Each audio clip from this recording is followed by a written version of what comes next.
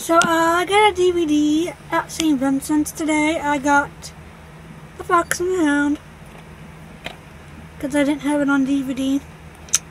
So yeah, that's why I got St. Vincent's today.